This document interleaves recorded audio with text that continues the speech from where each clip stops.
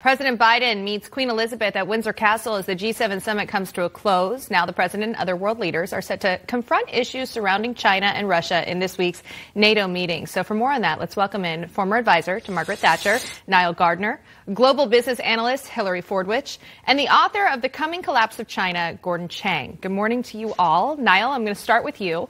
The royal family was very active during this year's G7 summit. Prince Charles addressing the leaders about sustainable markets initiatives and the Queen attending a reception with the G7 leaders and their spouses.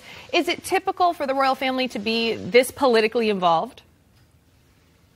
Well, uh, good morning. Thank you for having me on the show today. And uh, uh, as you mentioned, of course, the Queen played a very prominent role in uh, this year's uh, G7 summit. And uh, the Queen does play a, a prominent role when you have major international visitors to the United Kingdom. There's nothing unusual about that. And I have to say, you know, the Queen's uh, leadership uh, has been absolutely uh, stunning at, at, the G7, as as always. I mean, she is an incredible leader of the free world in many in many respects. She is a magnificent host, a magnificent representative for for the United Kingdom.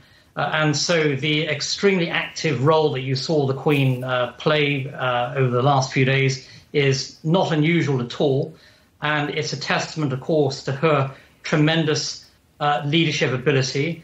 Uh, and also the fact that she she very charmingly hosted uh, Joe Biden at Windsor Castle, even though Joe Biden has a has a track record in the past uh, of uh, being very sympathetic towards Irish nationalism.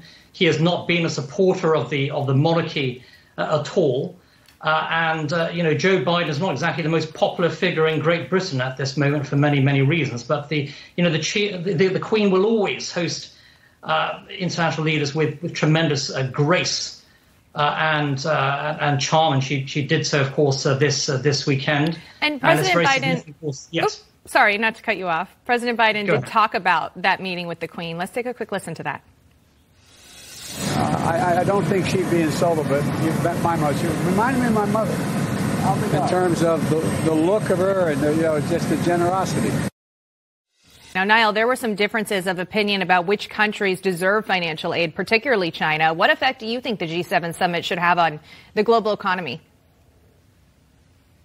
Well, I have to say, I wasn't particularly impressed by this year's G7 uh, summit and the global economy because after all, the United States, which is supposed to be leading the, the free world, uh, put forward a number of big government proposals, including this uh, global minimum corporate tax. And that's not the kind of message the United States should be sending. The US should be leading the world in terms of economic freedom, in terms of advancing economic liberty, in terms of free markets. You didn't see that kind of pro free market agenda at the G7 this year not least because with uh, with Joe Biden's administration, you have probably the most left wing U.S. presidency in American history, uh, and this is not a pro free market uh, U.S. Uh, government. So uh, I was very disappointed in terms of what came out of this year's uh, G7 summit.